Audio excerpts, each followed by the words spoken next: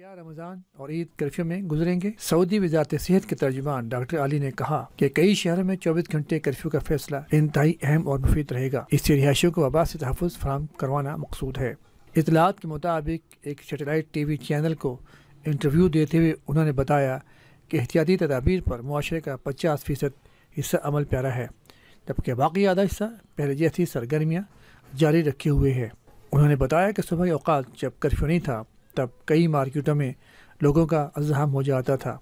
ہمارے پاس رپورٹس موجود ہیں جن سے ثابت ہوتا ہے کہ لوگ ہدایات کی پابندی نہیں کر پا رہے۔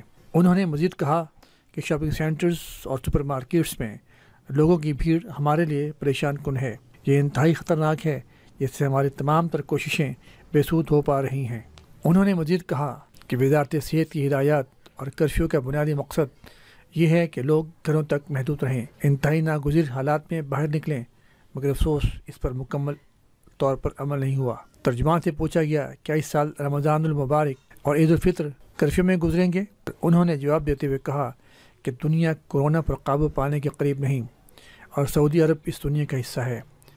ہم ہفتوں کی بات نہیں کرتے، بلکہ مہینوں کی بات کر رہے ہیں۔ وبا پر قابو پانے کے لیے کئی مہینے لگ سکتے ہیں۔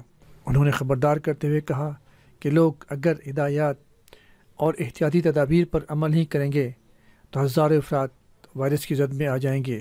یہ محض خیالی باتیں نہیں، بلکہ حقیقت ہے۔ انہوں نے بتایا کہ کورونا کا ایک مریض ہزاروں افراد کو وائرس منتقل کر سکتا ہے۔ اسی لیے احتیاطی تدابیر پر سختی سے عمل پیرا ہونا بہت ضروری ہے۔ کورونا کے مزید دو سو بہتر کیسز کی تحقیق مجموعی تعداد دو ہزار سات سو پچانوے ہو گئی۔ سعودی وزارت صحت کے ترجمان ڈاکٹر علی نے بتایا کہ گزشتہ چوبیس گھنٹے کے دوران کرونا وائرس میں مبتلا افراد جن کی تعداد دو سو بہتر ہو چکی ہے۔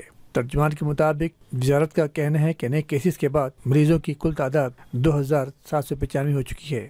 پورٹل کے مطابق سب سے زیادہ کیسز ریاض بھی ہوئے جہاں مریضوں کی تعداد چھپن ہے، جبکہ مکہ مکرمہ میں تعداد اکیس بتائی جاتی ہے۔ اسی طرح جدہ میں ستائیس مدینہ منورہ میں چوبیس، قطیف میں آٹھ، دمام میں چار، الخبر میں دو، خمیس مشیت میں تین راس تنورہ اور الوداع میں ایک ایک مریض کا اضافہ ہو چکا ہے۔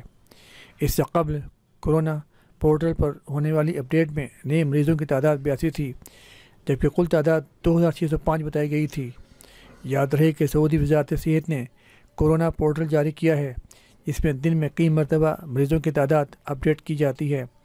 کورونا کے مریضوں کی بڑھتی ہوئی تعداد کے باعث وزارت داخلہ نے ریاض اور جدہ سمیت کئی شہروں میں کرفیو کے دورانہ بڑھا کر چوبیس گھنٹے کر دیا ہے۔